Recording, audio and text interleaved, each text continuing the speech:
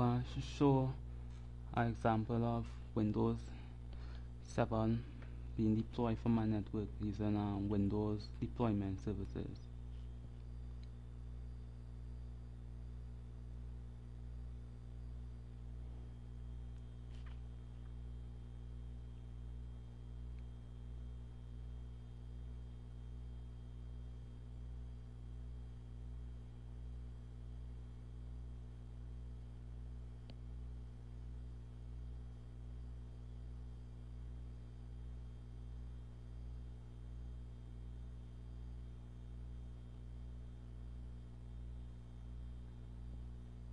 We're going to do troubleshoot, troubleshoot the boot process.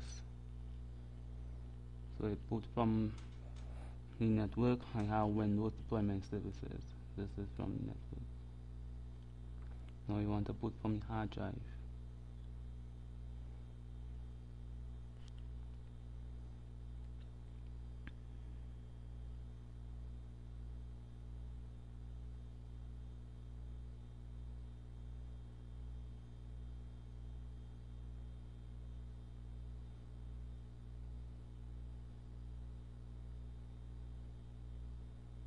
So we shut down our virtual machine, our text machine, or mark PXE boot.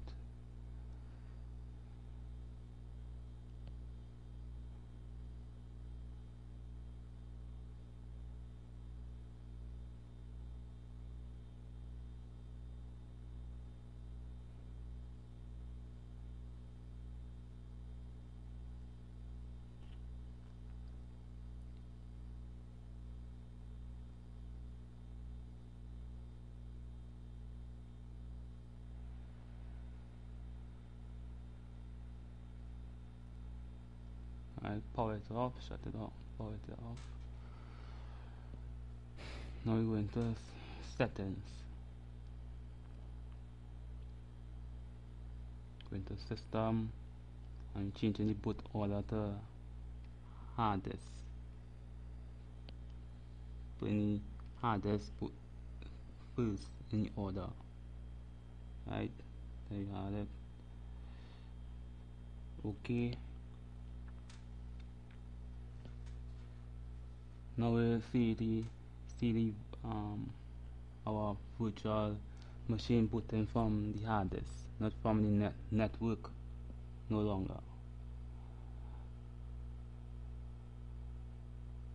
We starting Windows so booting from the hard disk